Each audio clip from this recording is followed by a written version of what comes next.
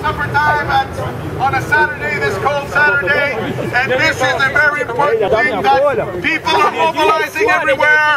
Our brothers and sisters from Nova Scotia and PEI are starting to wake up because people are starting to apply for EI and are being given all kinds of malarkey excuses just to say that they're suspended or being put on hold, and that is part of a greater problem. And one of the greater problem is Balmain Valcourt and Company are hiding the truth, and it's wrapped up in a big blanket called an omnibus bill. One of the things we have to clarify is if they don't want us on their heels, they should come explain to us exactly what's going on. And we will not give up until we get some modifications to help rural economies. Because what's going on right now for the people that are working full-time jobs, don't think that you're spared from this. And don't just think that it's people that are collecting EI. Because if the economy slows down, if somebody goes for a raise, let's say in two or three years, what is going to happen from this is, for example, your bosses are going to tell you, well, the economy is pretty slow, I can't give you a raise. Why? Because the Harper government is sucking everything out west and in central Canada. Wake up, Atlantic Canada!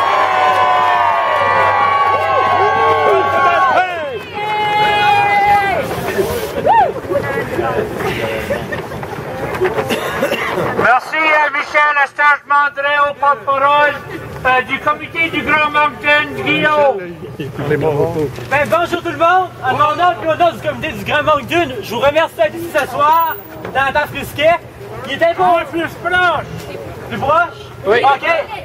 Il est important de continuer à poser des actions comme on fait aujourd'hui pour se poser. Comme on fait à Ingebrun, à Kedgewick, dans Gaspésie. Ça va montrer au gouvernement qu'on lâche pas prise, qu'on va se laisser faire, qu'on est capable de tenir debout dans l'émission d'avant avec la réforme. Notre but aujourd'hui, notre but de cette manifestation-là, c'est de faire reculer le gouvernement, que cette réforme-là soit amendée pour répondre à nos besoins dans les régions maritimes. Le gouvernement a fait la sourde oreille à toutes nos demandes depuis des mois. Il nous a imposé cette réforme-là au travers d'un document de plus de 400 pages. Est-ce vraiment acceptable dans un pays démocratique comme le Canada? Non, c'est inacceptable! J'aimerais profiter pour vous, vous dire que c'est très important de faire pression sur nos élus. Au Nouveau-Brunswick, on a huit députés conservateurs d'élus. C'est un lien direct avec Ottawa. C'est important de les téléphoner, de leur envoyer des courriels, de manifester devant leur bureau, puis en faire comprendre qu'on ne les supporte pas, qu'on veut qu'elle à Ottawa, qu'ils nous défendent pour de vrai. Parce de nous représenter.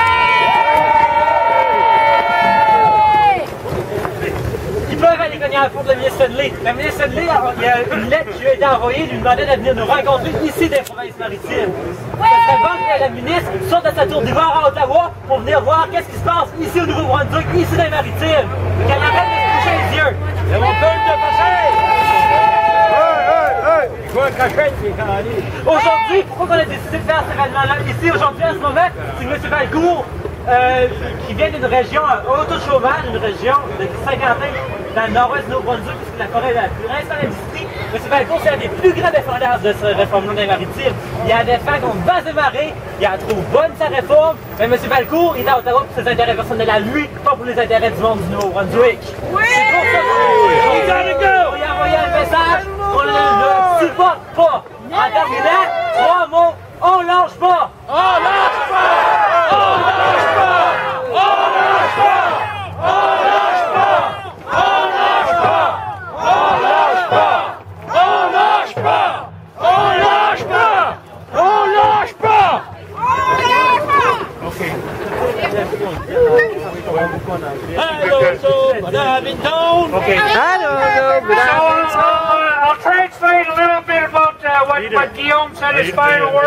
Word. He said we got to lobby, we got to lobby all our elected officials at all levels of government, especially the eight conservative MPs we have in the province of New Brunswick.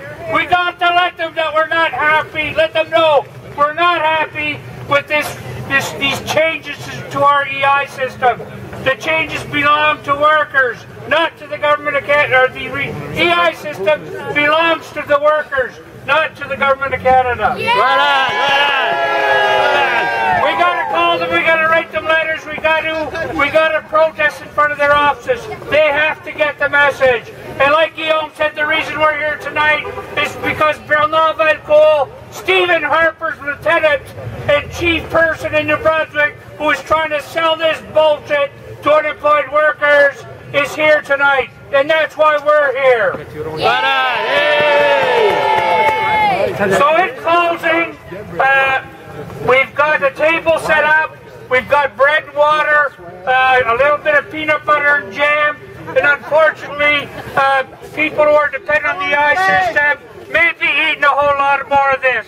So I invite you to join us for a piece of bread and some water uh, just over here on the table. Let's have sucker with him. And,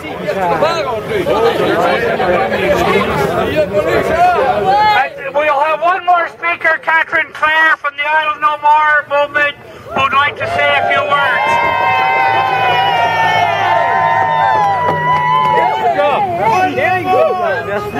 Hello, everyone. My name is Katrina Clare from Elsipogtog First Nation, um, um, from the Mi'kmaq Nation, and we do not consent to any of these federal legislation changes that have recently been made with Bill C-38 and Bill C-45, all the EI changes and everything else. All these omnibus bills that are being introduced and passed are under our noses, and none of us are aware, and we do not consent. And we're here to support you because we understand and we see your frustration and your anger. Thank you. We feel the same way too. And, we've been with you. um, I also wanted to invite all of you here today to come to an event that's planned on Monday in Sackville. Um, we have a missing Mi'kmaq brother, Chris Metallic, from the area, who um, a Mount Allison student at the university there, and we decided to do um, a traffic information slowdown, and we have little cards, and it does mention the EI changes on there, so we do welcome everyone who's being affected by all of these changes to come join us and stand with us on, in Sackville on Monday. We'll be there. On exit, we're going to be there from 10 o'clock in the morning till 4, and we'll have um, we have we have a list of guest speakers, um, the town councilors, um, Bill Evans. We have a university professor for environmental. Um, we have like shale gas, anti-shale gas speakers. We have um, Danny Légère from CUPE, who will be speaking to as well, and. Um, We'll be there. yeah, we'll have some food too. We're we're having an outdoor barbecue, and we plan to feed the people. But at the end, we do plan to help the family, the Chris, the Metallic family, search for their son. We're going to dedicate two hours to helping the family search, and we would appreciate your help with this as well. So please come and dress warm, and we can't wait to see ya. Malaliak, thank you. This is going to be at exit 504 of um, Sackville going east. Okay. Exit 5. Exit 504. Exit 504. Yeah, okay.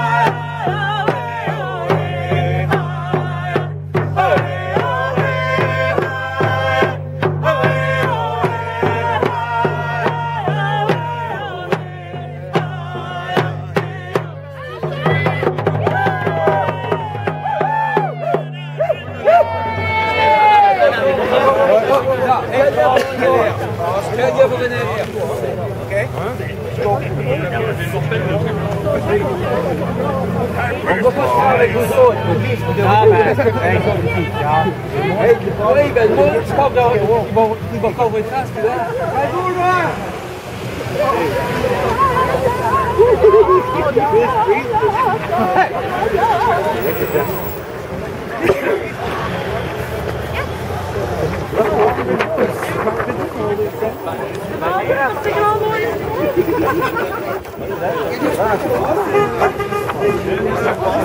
Okay. Sorry, let's go.